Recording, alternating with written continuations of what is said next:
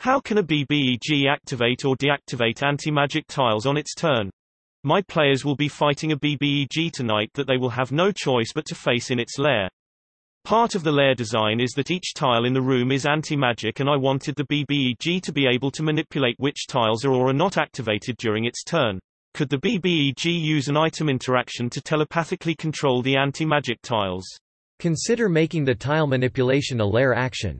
Lair actions are a method other than legendary actions to give a monster ways to balance the action economy between themselves and the party of player characters. They usually pertain to altering or using the terrain of their lair, and can only be performed by the monster or NPC when they are in their lair. You've mentioned that the party will be facing this BBEG in their lair, so it would make sense here.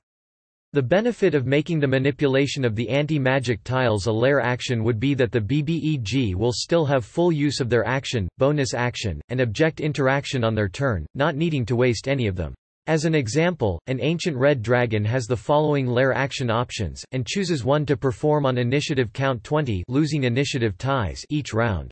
Magma erupts from a point on the ground the dragon can see within 120 feet of it, creating a 20-foot high, 5-foot radius geyser. Each creature in the geyser's area must make a DC 15 dexterity saving throw, taking 21 6d6 fire damage on a failed save, or half as much damage on a successful one. A tremor shakes the lair in a 60-foot radius around the dragon.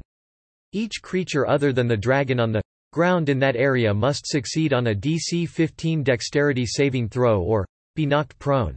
Volcanic gases form a cloud in a 20-foot radius, sphere centered on a point the dragon can see within 120 feet of it.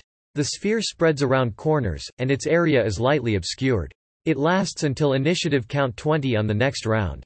Each creature that starts its turn in the cloud must succeed on a DC 13 constitution saving throw or be poisoned until the end of its turn.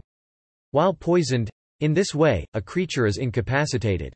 Because you know you want your BBEG to manipulate the anti-magic tiles every turn, you could simply limit them to one option for their lair action, to manipulate the tiles as they see fit.